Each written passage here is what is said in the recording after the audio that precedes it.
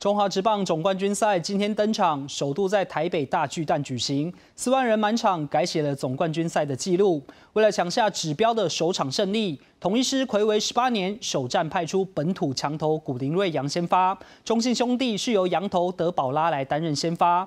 不过古林瑞阳只投三局就因伤退场。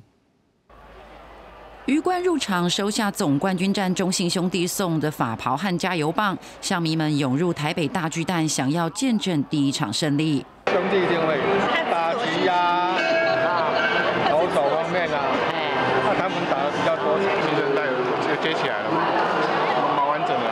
兄弟队向来是中职票房保证，今年在台北大巨蛋效应加成之下，观众屡创纪录。冠军赛首战主场四万人满场，改写总冠军赛纪录。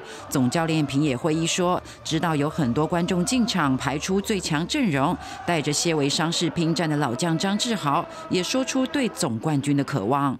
只要拿到总冠军，MVP 是谁，其实对我来说也不重要。最大7試合しかできない。まあ悲しいなと。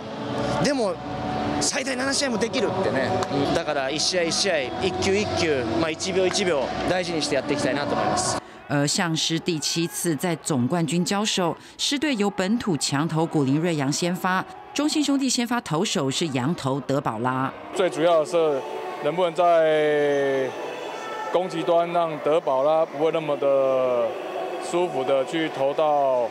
六局甚至七局，的确做了很多功课在古林身上，希望可以突破了。对，而且毕竟他今年的成绩又非常好。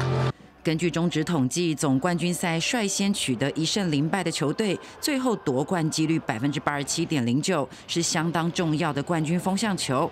虽说数据上运彩分析普遍看好兄弟会登顶，但是对教头林月平说，一定会拿出最好表现，光荣再生前进总统府。